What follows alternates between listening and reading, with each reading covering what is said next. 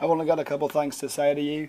Uh, this is going to be hard for me, and I, I really don't want to say it, but I I really think that everyone else out there is, is not going to win the Masters this year.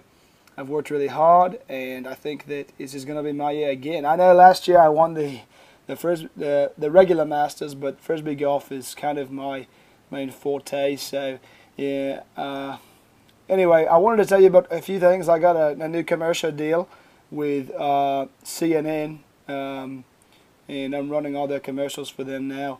Well, that's kind of irrelevant.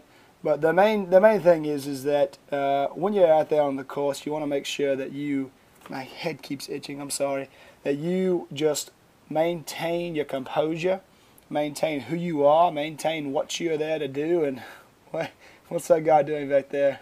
he needs to stop. I can't I can't even concentrate.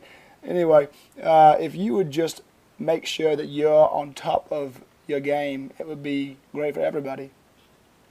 Secondly, I think that frisbee golf uh, is a lot more difficult than regular golf. Yeah, yeah. I wish you wouldn't talk while I'm head itches. Anyway, uh, you know it's hard for me to explain. Uh, frisbee golf, like I was saying, you really want to make sure that you have all of your ducks in a row when you're out there. Uh, for example, when I was out there two years ago, uh, my ducks were out of a row. Uh, I couldn't hit a fairway to save my life.